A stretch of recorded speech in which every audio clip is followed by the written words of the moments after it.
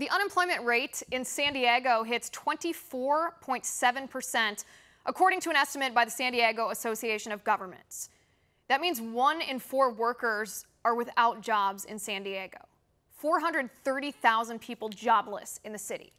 Just for context, one month ago, the unemployment rate in San Diego was 4.9%. It skyrocketed 20% in the space of four weeks, thanks to the government mandated lockdowns. Again, for context, the worst unemployment rate during the Great Depression was 25%. Maybe you don't need me to tell you this. Maybe you already know this. Maybe somebody in your family has lost their job or had their hours cut or been furloughed. Maybe your spouse. Maybe you lost your job. But what politicians won't tell you is why. So let's back up. The U.S. economy as a whole shrunk 4.8% in the first quarter of 2020. That's the worst economic contraction since the Great Recession. And it's going to be even worse because the economic lockdowns were not imposed until halfway through March, which really means the 4.8% contraction happened just in this first month of lockdowns.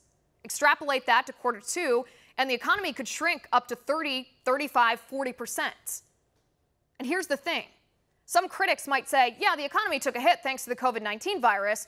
No, no. This was not because of the virus.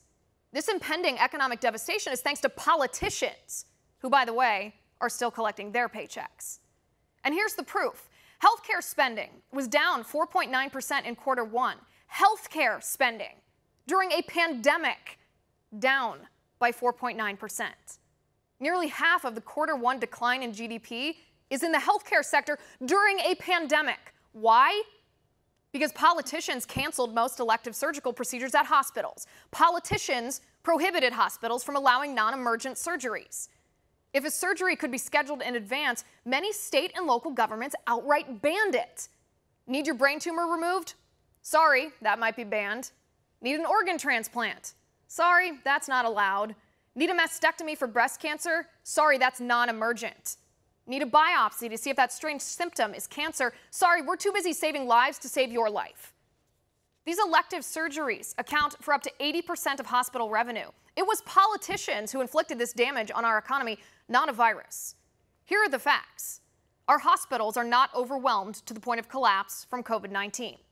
Not one person in our nation who needed a ventilator or critical ICU care has been denied.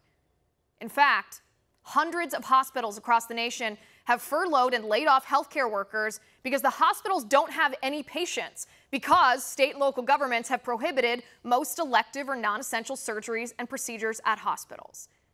In fact, even Quest Diagnostics, who's processed 40% of COVID 19 tests in our country, is furloughing their employees, cutting pay, dismissing temporary workers, and cutting overtime because they have no profit from the regular tests they perform to earn the money to pay their employees.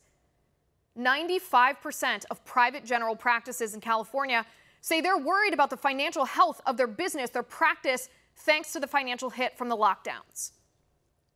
25% of rural hospitals are at risk of closing down permanently because they can't afford to stay open because 80 to 90% of their revenue is from so-called elective procedures. And hospitals and ERs, meanwhile, across the nation are sitting empty. This is why the healthcare sector in our country is taking such a hit. This is why nearly half of the quarter one decline in GDP is in the healthcare sector. It's not from the virus, it's from politicians.